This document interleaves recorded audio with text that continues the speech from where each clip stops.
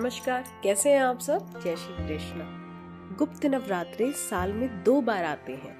पहले गुप्त नवरात्रे अषाढ़ मास के महीने में और दूसरे माह के महीने में। गुप्त नवरात्रे मुख्य रूप से साधुओं तांत्रिकों द्वारा माँ दुर्गा को प्रसन्न और तंत्र साधना के लिए मनाया जाता है। मान्यता है कि गुप्त नवरात्रि में माँ दुर्गा की पूजा को गुप्त रखा जाता है। इससे पूजा का फल दो गुना मिलता है। गुप्त नवरात्रि के दौरान कुछ उपायों से माँ दुर्गा को प्रसन्न किया जा सकता है सुबह, शाम, दुर्गा चालीसा और दुर्गा सप्तशती का पाठ करें दोनों वक्त की पूजा में लौंग और बताशे का भोग लगाएँ।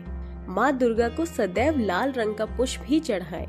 माँ दुर्गा के विशिष्ट मंत्र का सुबह, शाम 108 बार जप करें गुप्त नवरात्रि में अपनी पूजा के बारे में किसी को ना बताएँ। ऐसा करने से आपकी पूजा और ज़्यादा सफल होती है। गुप्त नवरात्रि में नौ दिन तक क्या करना चाहिए और क्या नहीं, आइए जानते हैं। गुप्त नवरात्रि के दौरान मांस, मदिरा, लहसुन और प्याज का बिल्कुल सेवन नहीं करना चाहिए। माँ दुर्गा स्वयं एक नारी है, इसलिए नारी का सदैव सम्मान करना चाहिए। जो नारी का सम्मान करते हैं, माँ दुर्गा उन पर अपनी कृपा बरसाती है। नवरात्रि के दिनों में घर में कलेश, द्वेष या अपमान नहीं करना चाहिए।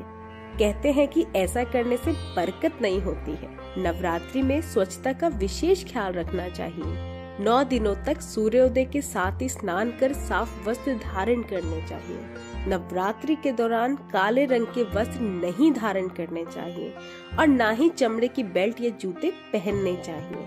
नवरात्रि के दौरान बाल, दाढ़ी और नाखून नहीं काटने चाहिए। नवरात्रि के दौरान बिस्तर पर नहीं, बल्कि ज़मीन पर सोना चाहिए।